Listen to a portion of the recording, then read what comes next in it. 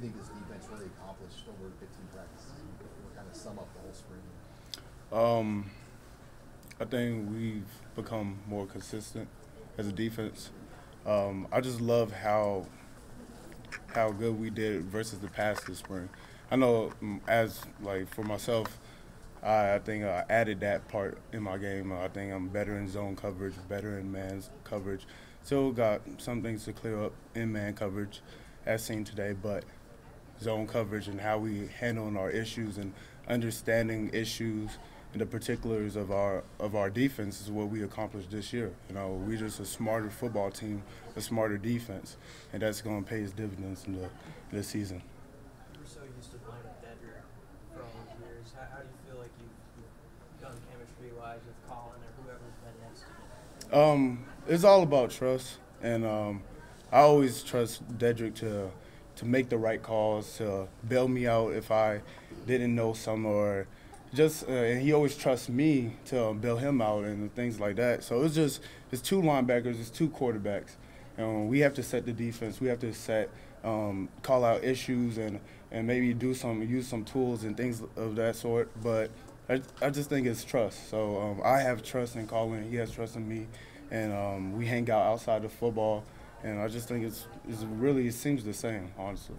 How much progress has he made just technique-wise, being now at the same position for, for a while? Uh, it's comfortable for him, so he's playing fast, and that's all. That's what you want in your inside linebacker: diagnose the play and just um, and shoot through gaps. Um, know your uh, issues and coverage and things of that sort, and that's what he's doing. So it's, it's real good to see.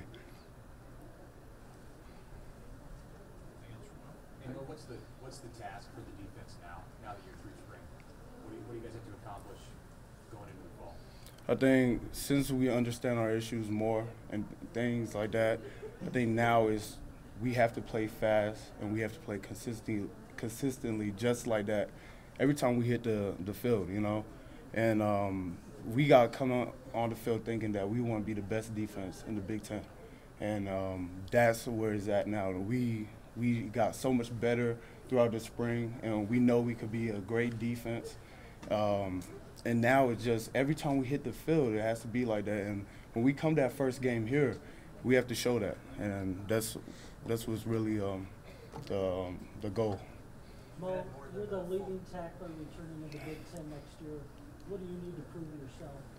What I have to prove to myself, um, I have to make critical plays for my team.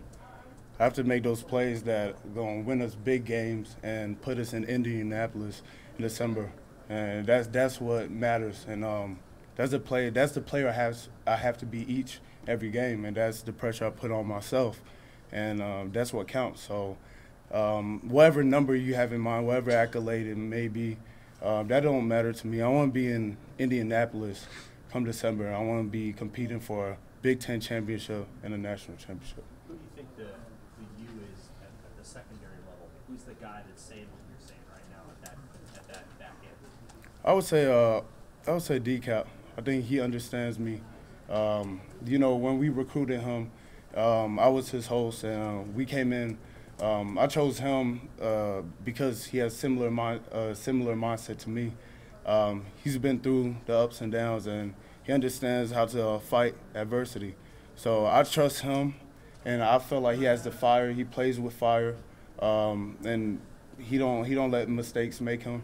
He just go out and ball, and that's that's a person who's just like me. I feel like. You've been here at Chinander as a DC for more than a year now. What have you learned about him? I mean, how would you describe him now, having been under him as long as you have? I think um, since coming in college, uh, uh, since high school, I never felt so comfortable with a defensive coordinator like I do Coach Chinander. Um, I know he has mad respect for me, and I just love playing for him. When I go on that field, I want to make him proud. And um, it just is, is a great feeling to have that kind of be comfortable with your defensive coordinator. Because a lot of times it's not like that, more of a business mindset. But I think we have that relationship. Are you guys motivated that there, there was so much talk about offense around here because Scott Frost, an offensive guy, that fuel you guys on your side a bit? Oh yeah, it's a it's the Big Ten and then it's Nebraska. The defensive records we have here, uh, are like untouchable. You know what I mean? And there's a lot of great defenders that came through here, and when you know the the light is off of the Blackshirts a little bit, you know that makes you uh, kind of you know energized and ready to prove that hey, this is a defensive program now, and uh, that's what we trying to do come this uh, season. point of emphasis for you guys uh, this offseason has been stopping the run better than you did last year. How how does a guy like Darren Higgins help you? Oh, he he could throw linemen around like they're rag dolls. So that's what you need in- up front at that nose guard. I mean, I could that's as simple as it get. He he has to be able to two gap, get off uh, the bump and uh, rub and stuff like that, and just make plays or just uh, devastate that that center so much that it makes it easy for me to make plays off of.